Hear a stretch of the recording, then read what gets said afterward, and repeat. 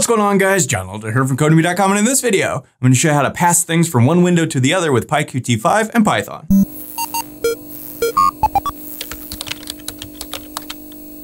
Alright guys, like I said in this video, we're going to look at passing things between windows. But before we get started, if you like this video, want to see more like it, be sure to smash the like button below, subscribe to that channel, give me a thumbs up for the YouTube algorithm, and check out Codemy.com where I have dozens of courses with hundreds of videos that teach you to code. Use coupon code YouTube1 to get $30 off membership. It's all my courses, videos, and books one-time fee of just $49, which is insanely cheap. Okay, like I said, in this video, we're going to look at passing things between windows. So, yo, submit, boom, it pops up on this window. How do we do that? So that's what we're going to be looking at in this video. So I'll be using the Sublime Text Editor and the Git Bash terminal as always. And as always, you can find a link to the code in the pinned comment section below, as well as a link to the playlist with all the other PyQt5 videos in the series. So check that out if you haven't so far.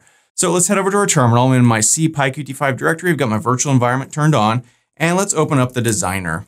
And we want a main window. So let's go ahead and create that. And let's play around with this a little bit. So I'm just gonna create two windows here in the designer. In the last video, I showed you how to use two windows in your program, how to switch between them. So if you didn't see that video, check that out. It's, I think the last video we did. So uh, if you need to brush up on that, go ahead and do that. But for now, I'm just going to grab a button. Uh, let's make it kind of big. And let's just say, I don't know, submit. And let's grab another one, that in there. And let's say open window. Okay. And let's make this text a little bigger just for fun. So we can click right here and make this 16. Same thing here, 16 or whatever. Okay, that looks good. So let's come down here and grab a line edit or a text edit or whatever you want, some sort of box that we can type stuff in.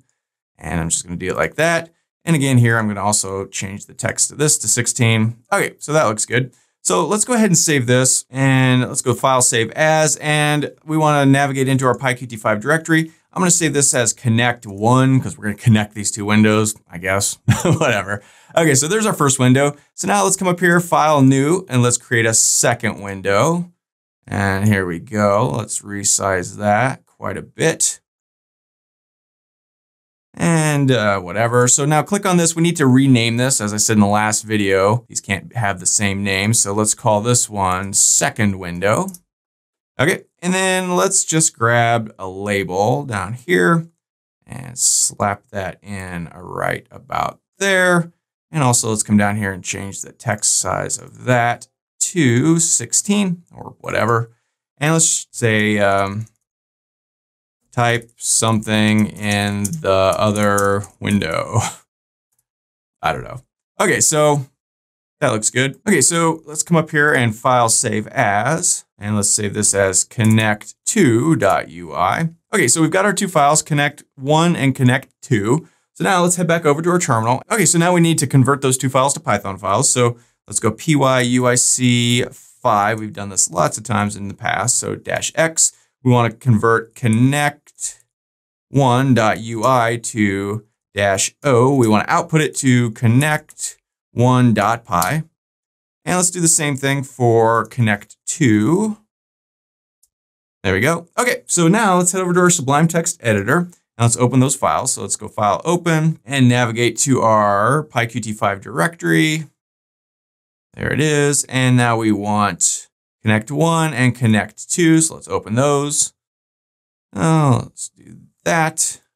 Let's get rid of these. Okay, so remember in the last video, in order to use this other file, we need to import it into this one. So let's go from connect two, we want to import. Now, what do we want to import? We want to import this main class. So we just copy this and boom, there we go. So let's define a function to open that second window. And we did this in the last video, so I'm not gonna talk about this. I'm just gonna run through it real quick and uh, knock it out. We wanna go self.window equals qt widgets.q main window.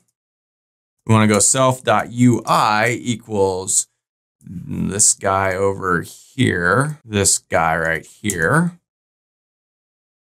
And that's a class. And we want to go self.ui dot, and then we want to grab this thing. So set up UI, and we want to pass in self.window into that. And then finally, we want to go self.window.show to show this guy. Okay, So let's go open second window. So now we want to call this from the button down here. So let's look through here. Here's our first, first push button. Uh, let's see, here is our second push button. So let's go clicked equals lambda. And that's a lowercase l, not a capital L. We want to go self dot open underscore window. Okay, so let's go ahead and save this and run it real quick just to make sure that worked. We kind of flew through that kind of quick. Let's go Python connect one dot py. And when we do, we get this open window button, boom, the window pops up, type something in the other window. Okay, so, so far so good. Now we need this button to work so that when we type something here, whatever we type appears in this label here. The whole point of the video, right? So let's head back over here and let's come up to the first button here. And actually I'm gonna come down here and just copy this whole thing. And then come up to the first push button right there and just paste it in. But instead of running open window, let's open clicker or something. Name it anything you want. I'm bad at naming things, but we can come down here and define that guy. So let's go define clicker. We want to pass in self. So now let's create a variable. I'm just going to call it thing, right? And let's set that equal to whatever we typed into the box. Well, what is the box name? If we look through here, the box is just named line edit because we didn't change the name. So let's go self.lineedit.text, and that will assign whatever we've typed into the box into this variable. Now we just need to send this variable over to the other window. How do we do that? Well, this is a pretty large buildup. We've done a lot of stuff up until now, and to actually take the information from one window and stick it to another window is ridiculously easy. We've already got it all set up to do. All we need to do is sort of I'd say, I don't know if you would say instantiate a class from the other window, this guy right here, into your main window. Well, we've already done that right up here, right? So we've got this self.ui that's already running a, a version, so to speak, of UI second window, which is this entire thing, right? So for all intents and purposes, that other file is in our class right now. We can access everything in it by calling self.ui.whatever.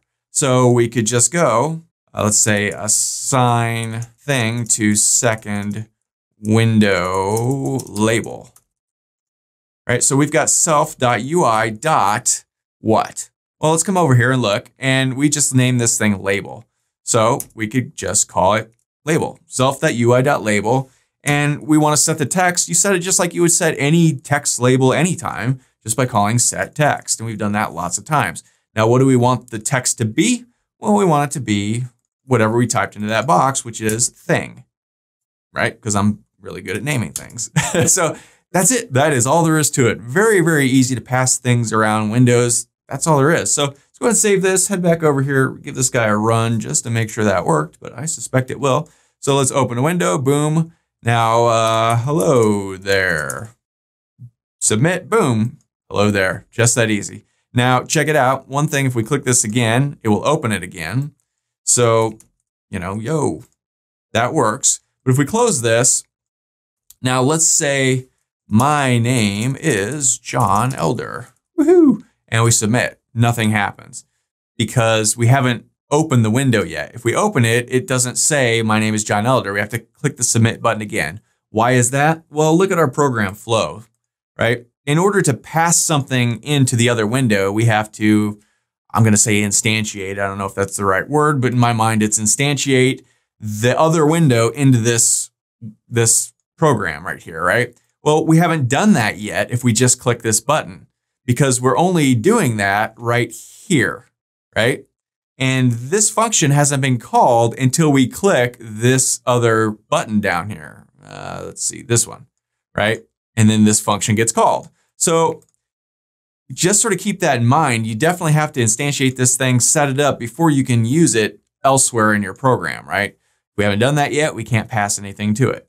That just sort of makes logical sense. So you probably don't need an explanation for that. Obviously, we can't change the window if we haven't shown the window yet, right? So just keep that in mind. You have to show it. So that's how you pass things around windows. And it doesn't matter if you're using other things in the windows. We used a label. You could have anything at all in there you would still access it the same way by calling self.ui dot whatever the thing is you want to do.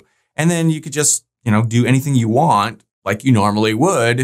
And it's just that easy. So that's all for this video. If you'd like to, be sure to smash the like button below, subscribe to the channel, give me a thumbs up for the YouTube algorithm, and check out Codemy.com where you can use coupon code YouTube1 to get $30 off membership. So you pay just $49 to access all my courses, over 47 courses, hundreds of videos, and the PDFs of all my best-selling coding books. Join over 150,000 students learn to code just like you. My name is John Elder from Codemy.com, and I'll see you in the next video.